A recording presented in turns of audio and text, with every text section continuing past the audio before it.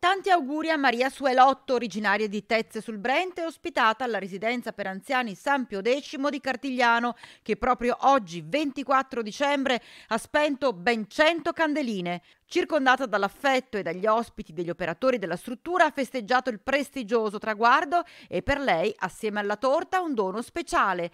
Dai due sindaci di Cartigliano e Tezze, 100 rose rosse, simbolo di vita, energia e passione.